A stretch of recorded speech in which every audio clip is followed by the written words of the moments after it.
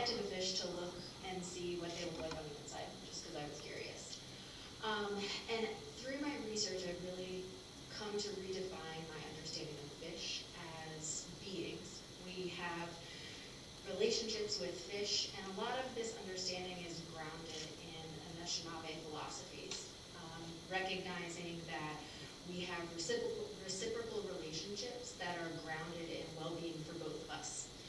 Uh, fish have their own traditions, homes, culture, and fish contamination represents a failure on our part as humans to fulfill those, those responsibilities.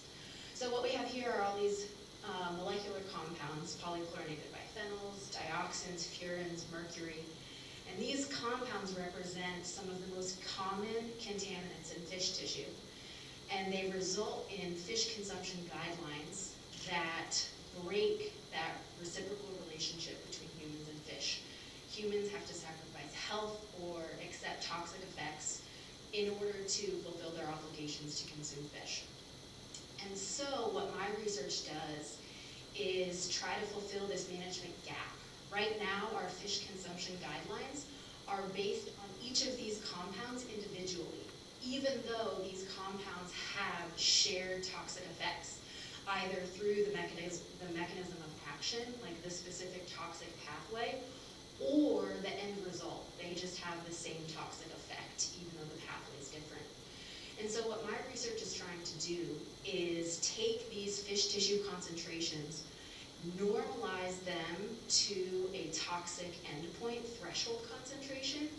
They become unitless fractions that we call hazard quotients.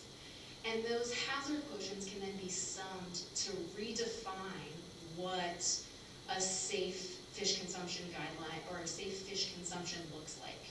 So rather than saying you can eat this much fish based on polychlorinated biphenyls and this much fish based on mercury, we can combine the two and say, thinking about these combined or mixed tox mixture toxicity effects, we can, um, we can create safer fish consumption guidelines. And these consumption guidelines can be regional because the sources of these contaminants vary regionally um, from atmospheric deposition to also more localized sources like wastewater runoff and wetlands.